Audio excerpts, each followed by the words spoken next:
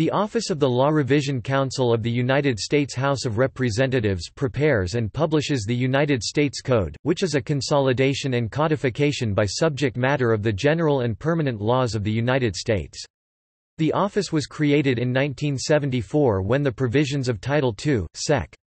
205, of H. Res. 988, 93rd United States Congress, were enacted by Public Law 93-554, 88 Stat. 1777. The Counsel is appointed by the Speaker of the House and must Prepare, and submit to the Committee on the Judiciary one title at a time, a complete compilation, restatement, and revision of the general and permanent laws of the United States which conforms to the understood policy, intent, and purpose of the Congress in the original enactments, with such amendments and corrections as will remove ambiguities, contradictions, and other imperfections both of substance and of form, separately stated, with a view to the enactment of each title as positive law, the Counsel takes each act of Congress that covers more than one subject, and makes the revisions indicated to each title of the United States Code.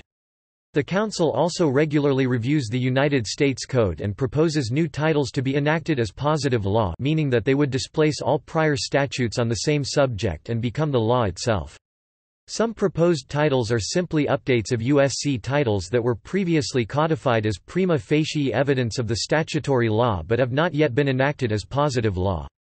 Other proposed titles collect the substance of all existing statutes on a particular subject from across the USC and the statutes at large into a new title. The current counsel, Ralph V.